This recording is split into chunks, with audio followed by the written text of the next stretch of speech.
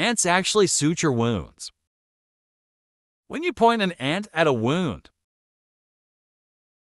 it will clamp the skin with its breath. Secure the wound firmly. After the ants agree, you can rotate and unscrew his head. The pain will make his pliers. Fix the wound tightly.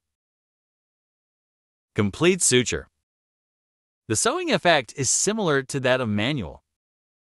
But not all ants are up to the task. Because it requires a strong bite force to complete. The march has been long undercutting leaves. Clean out a pair of huge, sharp, and strong pliers. Can easily penetrate the skin. And the march has carried leaves. The leaves need to be clamped firmly.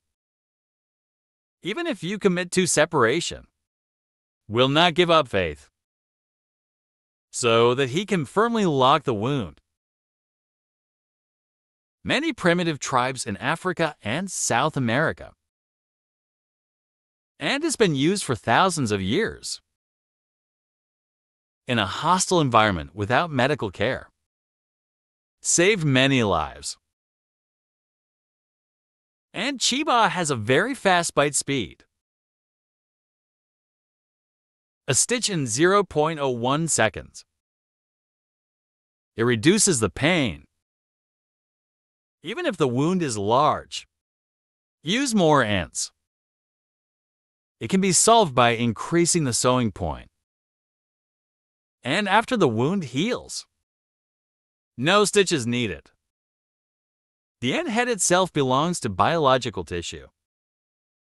It will automatically fall off when the wound heals. But ants in the wild can carry disease. Increased risk of infection. And you pick the wrong ant. It could also lead to more serious consequences.